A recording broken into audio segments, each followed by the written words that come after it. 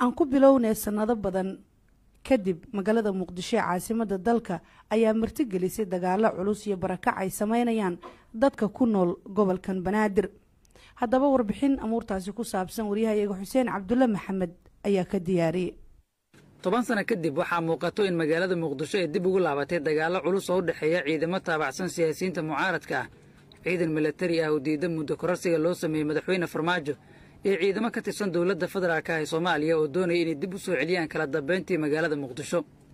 Dadka ku nool gobolka banaadir dhawaaqa rasaasta iyo darinka madaafiicda oo ay maqlaan waxaa ugu dambeysay toban sano ka hor markii al-shabaab laga saaray xaafadaha gobolka banaadir.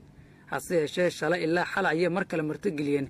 Dagaallo culus oo ka dhacaya xaafado ka tirsan koonfurta iyo waqooyiga muqdisho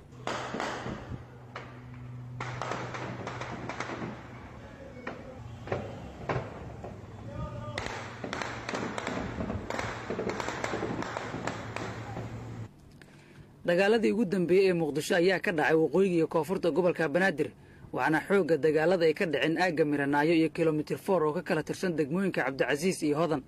Ugu yaraan toban qof oo isugu jira shacab iyo dhinacyadii dagaalamo ayaa ku dhintay dagaaladii saacadii la soo dhaafay ka dhacay muqdisho. Ciidamada mucaaradka ayaa weli ku sugan agaarka madaxtooyadii hore ee cabdiqaasin isgoyska dabka halka ciidankii milatariga ee diidanaa muddo kororsiga madaxweyne farmaajona ay joogaan isgoyska miranaayo waxaana goobaha qaar weli laga maqlaya rasaas goosgoosa iyadoo ay dib u gurasho sameeyeen ciidankii dowladda ee dagaalka ku jiray. Ra'iisul wasaaraha soomaaliya maxamed xuseen rooble oo laga soo duubo muuqaal kooban ayaa ku baaqay in la joojiyo dagaalada saacadii la soo dhaafay ka dhaca gobolka banaadir isagoo faray ciidamada amnigu inay ilaaliyaan ammaanka shacabka ku nool muqdisho. Waxaan rabaa halkan inaan uga sheego shacabka soomaaliyeed inaan ka xumahay dhibaatadii dhacday ee lagu qalqalgelinaya amniga iyo nabadda magaaladan muqdisho gaar ahaan bishan barakaysan ee mudan xurmadda iyo cibaadada. Waxaan farayaa cid walba in nabadda la wada ilaaliyo oo la wada dhooro bulshadana loo turo.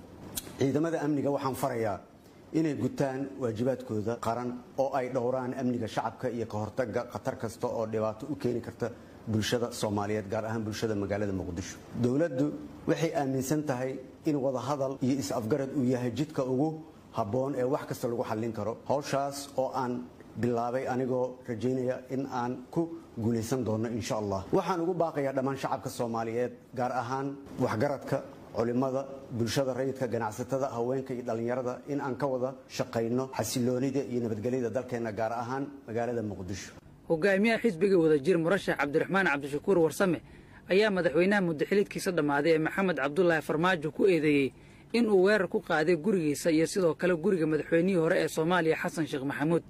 Murashax cabdiraxmaan cabdishakuur warsame ayaa sheegay in isdifaacayaan oo aysan diyaar u hayn dagaallo ka dhaca muqdisho oo ka mid ahayd magaalooyinka soo koraya ee afrika islamarkaana ku tallaabsatay horumarro badan laakiin hadda u muuqato inay cagta saartay dhaba aan wanaagsaneyn wallaahi aniga dee dhinacaanan aada uga warqaba aan joogo maqribkii markaan afuraynay salaadii maqrib ayaa rasaas nagu soo bilaabay. Ciidamo xoogan oo gaariyaal tignico badan iyo gawaaridan turkida ay keento beebaha la yidhahdo waxbadaha karin iyo ciidan fara badanaa nagu soo bilaabay. Saddex dhinac dagaal marka dee afurkiina weli ma aanan dhamaynin ka xuna iyadoo ramadaantahay dadkii afuraaya in dagaal intaas la eg noo ku soo qaaday. Wallaahi dee annaga haddii aan daandaansi bilaabno dadka magaalada noo markhaati kacaya oo jooga shacabka ah oo deegaanku nool. Ayagaa ciidan xoog leh oo dabaabado wato oo tiro badan nagu soo aaday. Dabcan waxaana filaya inay isqeybiyeen dhinacaasna kuwa u direen dhinacaana kuwa ku soo aadeen. Markii hore meelay degdegeen waa naloo sheegay oo xarunta xisbiga iyo dhinacaana inayna soo kor degeen xaggeenna oo dhinaca madaxweyne xasheekh iyo raggaas ay jiraan iyo xildhibaan cabdiqaadir cusuble inay kor degeen waa naloo sheegay. Marka annaga marna iskuma dayin inaan annaga ayaga xaggooda tilaab u qaadno saraakiil ka tirsan ciidamada militariga soomaaliya ee ka soo gala dhinaca gobolka shabeellada dhexe islamarkaana diidan muddo kororsiga madaxweyne farmaajo. Iyo xubno ka mid a golaha midooda murashaxiinta madaxweynaha soomaaliya ayaa sheegay inaysan jirin ilaa hadda wax wada hadal ah oo u dhexeeya dhinaca dowladda iyo sidoo kale dhinacyada kale ee ku dagaalamaya magaalada muqdisho. Waxaa jira saacadii la soo dhaafay hadalhayn ku aadaneyd in madaxweynayaasha galmudug iyo hirshabeelle ee muqdisho ka wadeen dadaallo xal loogu raadinayo xiisadda ka taagan magaalada muqdisho iyo dagaalada saacadii la soo dhaafay ka dhaca gobolka banaadir. Muuqaalka guud ee muqdisho oo maalmo ka hor ahayd bilic aad u qurxoon dhismayaasha waddooyin iyo dabaqyo dhaadheer ayaa hadda ah samaysashada difaacyo dagaal. Godad ee ciidamada iska soo horjeeda ay qoteen ciidamo is-hor fadhiya iyo abaabullo xoog leh. Dhawaaqa rasaas teelteela iyo shacab doonaya inay ka baxaan magaalada. Lama oga halkay ku dambayn doonto xaaladda magaalada muqdisho oo xilligan ah mid aad u cakiran islamarkaana dadka ku nool ee muujinayn cabsi aad u badan dad badan waxay qabaan xaaladda magaalada ay ka sii dari karto haddii aysan tanaasul samaynin dhinacyada dagaalamaya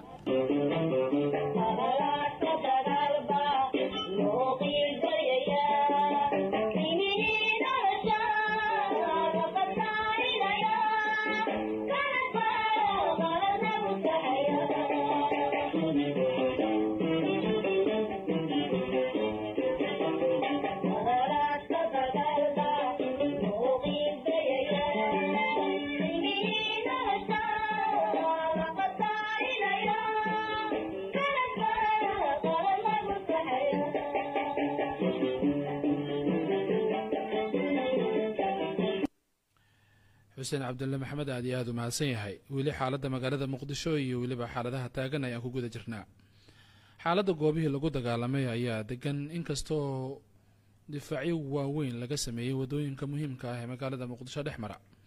Waryaheena cali cilmi salaad ayaa tegay qaar ka mid a meelihii ilaa xalay lagu dagaalamayay. Warbixintan ayuuna nooga diyaariyey muuqaallo iyo raadad aan wanaagsaneyn ayay reebeen. Dagaallo saacadihii la soo dhaafay ka dhacayay qeybo kala duwan oo ka mid ah degmooyinka gobolkan banaadir dagaaladii dhacay ayaa laga dhaxlay burbur soo gaaray goobihii lagu diriray jejebinta kaamirooyinka waddooyinka ku xirnaa ee qaybta ka ah sugitaanka amniga difaacyo hor leh oo laga sameeyey waddooyin muhiim ahaa iyo barakac xaafadaha qaar ee magaaladan.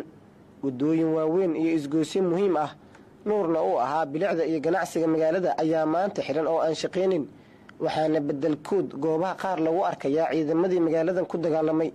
Ciidamada mucaaradka ee kuwa daacadda u ahaa dowladda la dagaalamay ayaa difaacyoy carituurye ka samaystay isgooska mirnaayo iyo waddada cabdiqaasin halkaas oo uu ka dhacay dagaaladii ugu adkaa ee sanado kadib soo maray caasimadda.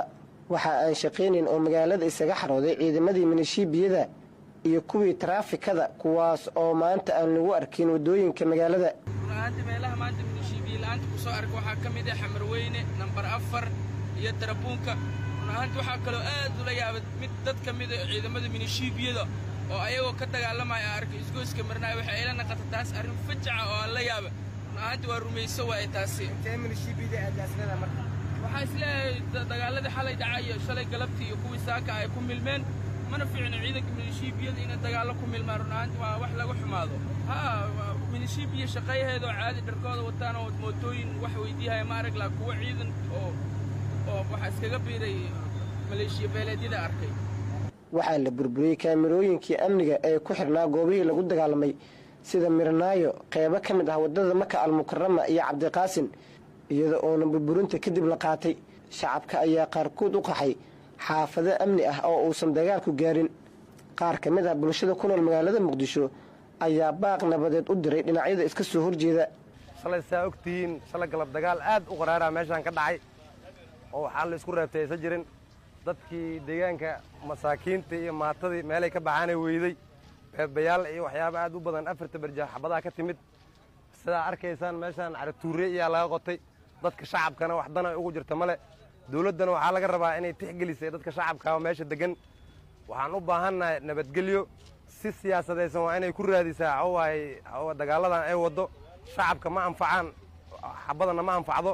Wallaahi hadda sidii hadda nooga muuqato saan nabad nabad naaskeed maana ilaahay nabad hana siiyo saan si karoon dadweynaha waxgaradka odayaasha anugu baaqaa inay saan si xal noogula raadso kolley taxamar annaga dan noo mahan in hadda la kala carro colaadkooba la kala dhaxlo hadda soddon annaga intaan sana hadda sana jiro soomaali sax kuma soo arag in laysdhaco suranka layska jaro suug laysku dhufto silac mooye si saxa sooma arag laakiin saan nabadeed aan jecelnahay saaka midda kale saakay qofkii qaxaaya ee rabadaankan qaxaaya muxuu u hayaa qofkii siyaasiga ama madaxweynaha ama ra-iisul wasaaraha ama nimanka musharaxiinta xilka madaxweynimada rabo maxay u hayaanoo afura maxay u qaban karaan midda saddexaad yaa badbaadin kara dalkan waxay taagan tahay yaa badbaadin karo siyaasiga badbaadin kara waa kuma waa qofka shacabka dantiisa ka naxa dagaal joogtaa dan maahin kursiga anaa joogayaan dan maahin maxaa xale marka xagge la isku yimaadaa waxaa la isku imaan karaa hoo walaal iyo cun iyo adiga iyo cun iyo wada ogol maxay wada ogol ku imaan kartaa marka? Laba nooc.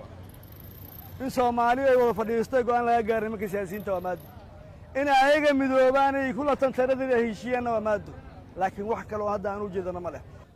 Waxaa degan goobihii shalay lagu dagaalamay waxaana socda sida la sheegay waawaan looga hortegayo in magaaladan iyo shacabka ku nool korkooda lagu dagaalamo si loogu baaqsado dhibaato iyo burbur hor leh oo muqdisho ay dhibano u noqoto. Aada buu mahadsan yahay waryahayga cali cilmi salaad. Ururada bulshada rayidka ah iyo culimaa udiinka soomaaliyeed ayaa ku baaqay in la joojiyo abaabulka iyo xiisadaha dagaal ee ka jira qaar ka mida degmooyinka gobolka banaadir.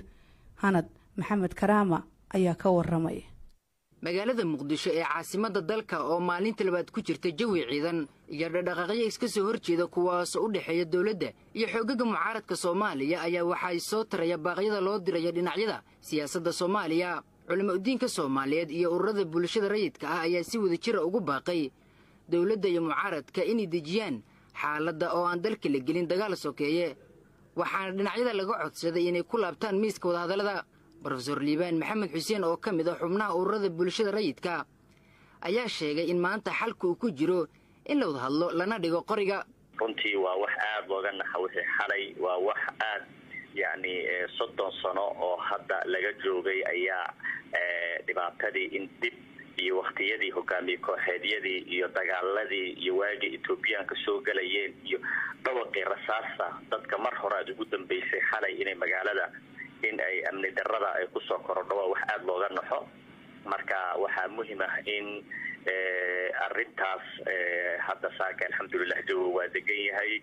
Baaqyo nabadeed ayaa lagu baaqay odayaal baa ku baxay inta hadda xabadda way taagan tahay oo mataqaanaa laakiin waxaan is leeyahay xabadda iyo arintaa degtay hadda waxay ku sii meesha uga bixi kartaa si nihaa'iya uga bixi kartaa markii heshiis siyaasadeed u yimaado marka heshiiskaas siyaasadeed in mataqaanaa lagu dadaalo oo mas'uuliyiinta sare mataqaanaa yani aada loogu dadaalo oona tanaasulaad la isu sameeyo. Taa marka waxaan ka wadaa wixii hadda in wadanka dhinacii doorasho la aado sidii lagu aadi lahaa ha lagu kala aragti duwanaado laakiin waxa ugu muhiimsan in laga wada hadlo. Dhanka kale sheekh cabdixayi oo isna ka mid ah culimo udiinka soomaaliyeed ayaa bulshada la wadaagay fariin ku aadan cawaaqib xumada ka dhalan karta in dalka maanta la geliyo dagaal sokeeye iyadoo waxa la isku hayo yihiin siyaasad. Fariintaas waa fariin mar walba igu soo celiyo oo ah maslaxada iyo heshiiska iyo cadfiinta inay mar walba faa'iida ay leeyihiin. Waana meesha ugu dambaysa ee loo dambayn doono si kasta oo laisu khilaafo ugu dambaysta ay ku dhamaataa heshiis iyo is-afgarad. Culimadii hore waxaa laga soo gaaray inay dhaheen bidaayat lmuslixiin dadka maslaxada ka shaqeeya meeshay ka bilaabaan waa nihaayatu tawriyiin dadka xanaaqsan meesha ay ku dhamayn doonaan. Marka kolley kolley waxaa loo dambayn doonaa in la heshiiyo marka heshiiskaas ay culamada walba ku baaqaan wasulxu khayr heshiiska ayaa fadli badan bil ramadaana lagu jiraa qadarkaa raadinayaa qadarkuna waxay ku astaysan tahay nabadgelyo oo ilahi wuxuu yihi salaamun hiya xataa mudaci alfajri. Marka dadka in soonkooda loo ilaaliyo oo khilaafaadka wadahadal lagu xaliyo aada iyo aad ayaan u soo dhaweynaynaa tan iyo wixii ka dambeeyey laba iyo tobankan bishan abriil magaalada caasimadda ah ee muqdisho ayaa lagu hala gashay marxalado colaadeed kadib markii xildhibaanada aqalka hoose ee baarlamaanka soomaaliya ay laba sano wakhtiga ugu dareen hay'adaha dowladda ee wakhtigoodu dhammaaday. Shacabka ku nool magaalada muqdisho ayaa ka walacsan halkay xaaladdu ku dambeen doonto maadaama saacadihii la soo dhaafay lagu dul dagaalamay waxaana weli jirta cabsida laga qabo in dagaaladu xoogaystaan